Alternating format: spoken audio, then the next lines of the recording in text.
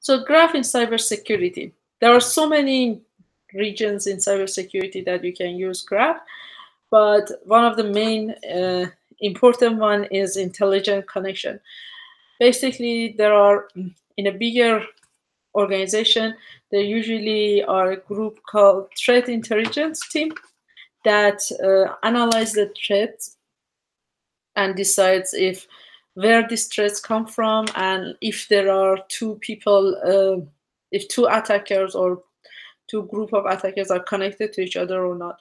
One of the easiest, one of the fastest way to do that is through um, if using graph. So for example, um, in this slide, you can see attacker one and attacker, attacker two. They use two different uh, technique to attack. So one of them use web pages, the other one use emails to attack organization. But if you go through the different, uh, if you look at their malware, their code, their IP, and uh, decode all those information, you would eventually lead to the same organization, so say organization crime, and then you can consider, or maybe, maybe probably these two attackers are from the same group, you just like have different uh, signatures. And technique, um, another uh, place that graph is used in cybersecurity is attack mapping. So if you map off your network, computer network in the companies that has like hundred thousands of computers uh, or people who join to the network, um, it's very, very hard to find the attackers. And using graph make it it's a little bit easier to find if someone uh, have get access to area they shouldn't, or if someone entered to the community that they they didn't they didn't belong to, or look for um, you can look at for community that overlap and actually they shouldn't overlap. So it's another area to use that. Another famous area is fraud detection. Uh, remember, fraud can be in any shape and any place. Like fraud can be fraudulent investment, fraudulent fraud, uh, sorry, in insurance fraud, a fraudulent phone call, uh, fraudulent bank account, etc.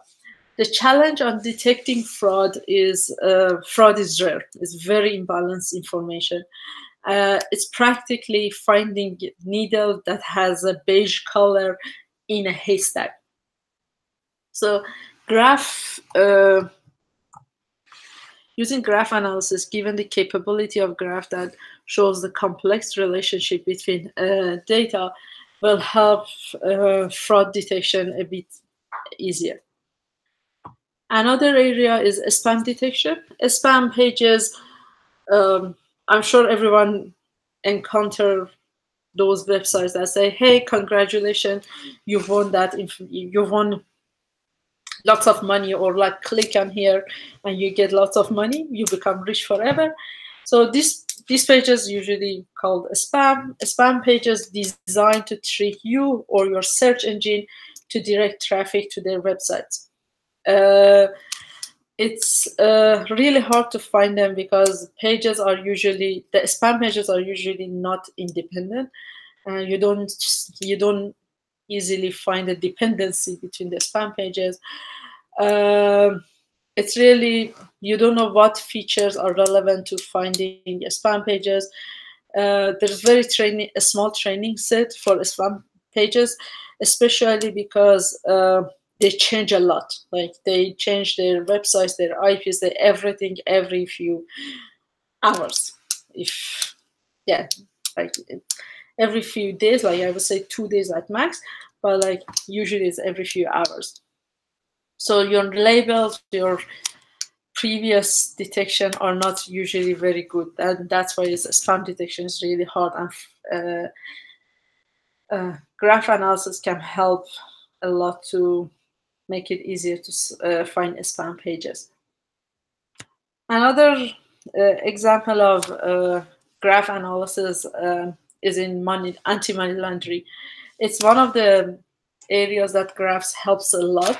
and has a very good proof and record of detecting uh, money laundering teams.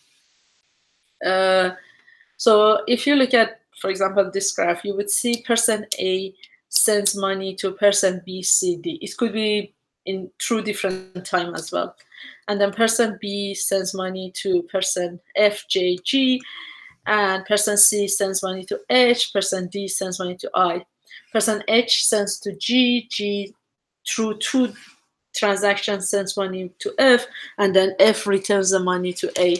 And then uh, the same for person J sends it to I, and then I returns the money to A. So practically all the money that person A sent in a time, in a specific time window, let's say in two weeks comes back to themselves, but this time the money is clean, like because like the source of money is kind of like you know like you would say like i got it from friend um, any other data sources like um, relational database or any other database if you use this method it would be horrific to find uh, this relation.